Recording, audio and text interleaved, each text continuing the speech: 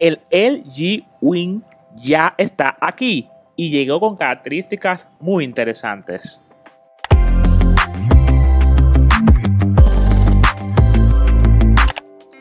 Confirmando la mayoría de rumores, este terminal vino con un diseño único.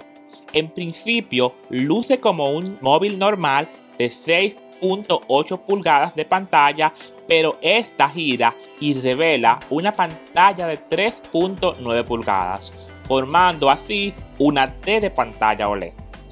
En cuanto a sus internos, este integra un procesador Qualcomm Snapdragon 765G con 8 GB de memoria RAM que junto al sistema operativo Android 10 y LG UX harán literalmente volar al dispositivo. En cuanto a su almacenamiento, ese será de 128 y 256 GB, expandible hasta 2 TB de memoria. En el apartado de la batería tenemos 4000 mAh que le darán poder a este dispositivo, el cual será cargado a través de su puerto USB tipo C. En cuanto a sus cámaras, tendremos tres sensores, uno principal de 64 megapíxeles, un gran angular de 13 megapíxeles y un ultra gran angular de 12 megapíxeles. Pero tendremos también que destacar la atracción del momento, que es la pop cámara de 32 megapíxeles, que es sin duda alguna una de las atracciones del dispositivo.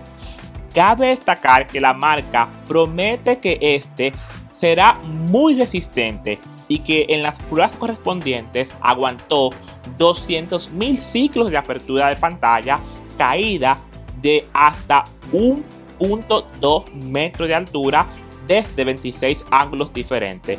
Y por supuesto, cabe destacar que es a prueba de agua. El precio aún no se ha determinado, por lo que te voy a invitar a que estés a Pink, porque te lo voy a decir una vez salga. En mi opinión, este es un muy interesante teléfono que dentro de los dobles pantalla es uno de los que más apuesta a la practicidad en los dispositivos y para mí esto es un punto muy importante tal cual promete la marca creo que este teléfono nos hará tomar el vuelo a diferentes lugares. ¿Y a ti? ¿Qué te pareció el dispositivo? No olvides dejar tu like, comentar y suscribirte a este canal porque tengo muchísimo contenido de tecnología solamente para ti. Es un honor tenerte por aquí. No es la Barbie, tampoco la Frontera Rosa, es José Miguel de su canal Eterno Pink con más contenido para ti. Hasta la próxima, que Dios te bendiga.